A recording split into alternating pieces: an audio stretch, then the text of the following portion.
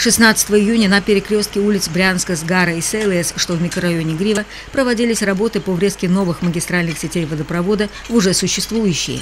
Местных жителей предприятие Даугубас Уденс заблаговременно предупредило об отключении воды и связанных с этим временных неудобствах.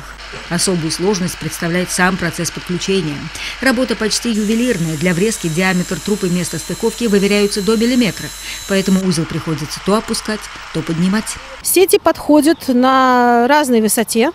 И строители, перед строителями стоит достаточно сложная задача выверить идеально узел, подогнать все свои сети, чтобы была соосность труб идеальной. Иначе малейший перекос будет означать, что будет утечка воды, и этот узел не будет принят в эксплуатацию, эксплуатация его будет невозможна.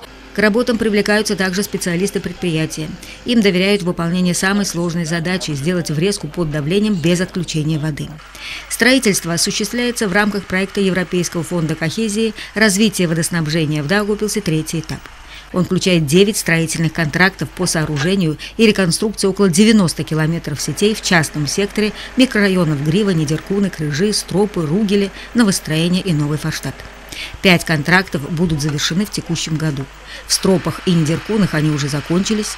Местные жители активно подключаются к централизованной системе водоснабжения и канализации. Да, централизованная. Хорошо. Да, довольно. Вроде как никаких проблем вроде нету. Если местная канализация, она поднимается все, а так все уходит, и все. Ты беды не знаешь. Хорошо, конечно. Подключение сетей к домам для собственников – услуга платная. Цена разнится в зависимости от места расположения колодца, подземной арматуры или конструкции фундамента, а также от запросов клиента.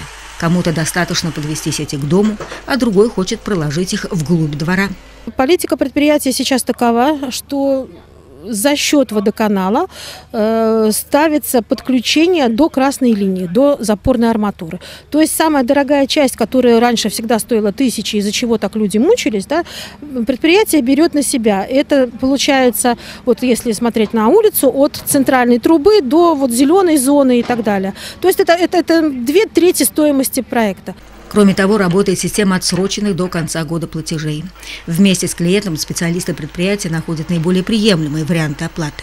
Спрос на подключение довольно велик. На сегодня в работе около 60 заявок.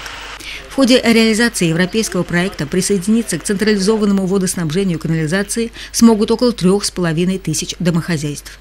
Процесс подключения новых сетей к существующим на этом перекрестке закончился к вечеру, и в 21 час 30 минут 16 июня подача воды возобновилась. За лето на Гриве будет выполнен весь предусмотренный проектом объем работ, а освоить выделенные Еврофондом средства предусмотрено до 1 июня 2015 года.